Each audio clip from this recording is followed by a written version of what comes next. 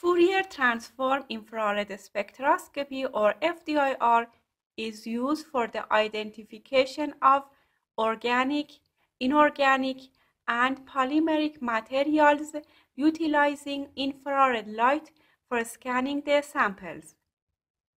Alterations in the characteristic pattern of absorption bands clearly indicate a change in the material composition.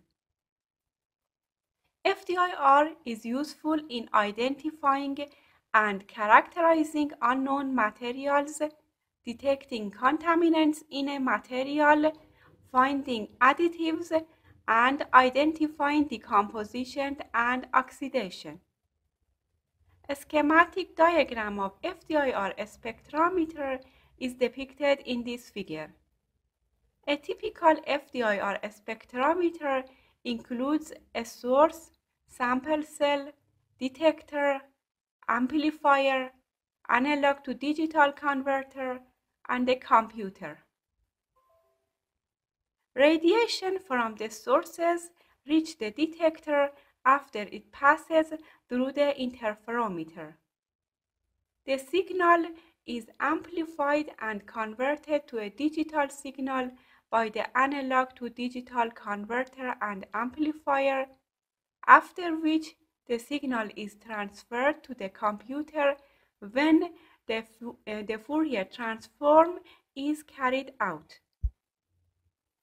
Infrared radiation of about 10,000 to 100 per centimeter is sent through the sample with part of the radiation absorbed and some passing through. The radiation is absorbed in, is converted by the sample to vibrational or rotational energy. The resultant signal obtained at the detector is, uh, is a spectrum generally from 4000 to 400 per centimeter, which represents the sample's molecular fingerprint.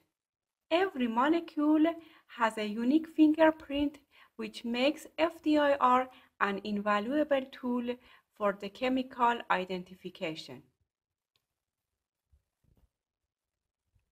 In this figure, you can see the FTIR spectrum of titanium dioxide nanoparticles.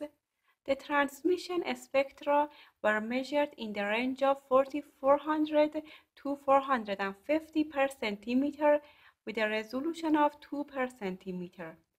In the FTIR spectra, the wide peak near 3400 per centimeter is associated to the hydroxyl bonds and is related to the surface absorbed water. The bond at 1600 per centimeter is related to the hydrogen-oxygen-hydrogen bonds.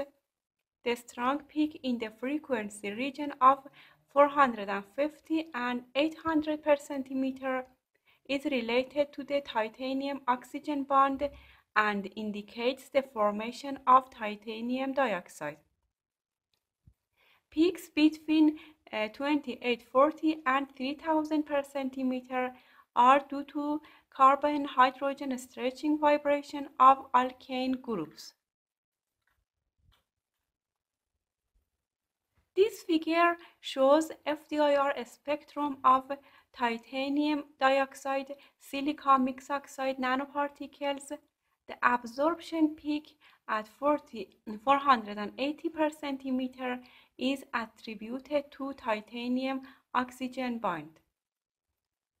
The absorption peak between 1000 and 1200 is related to silicon oxygen bond and the absorption peak at 970 per centimeter is attributed to titanium oxygen silicon bond.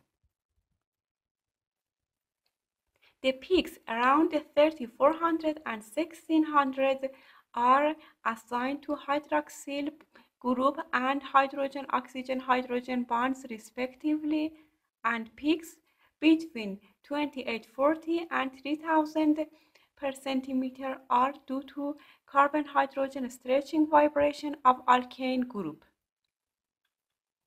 In the next video, I'll discuss X-ray diffraction or XRD analysis and I will show you XRD pattern of the dif different nanoparticles and I'll uh, analyze the XRD patterns.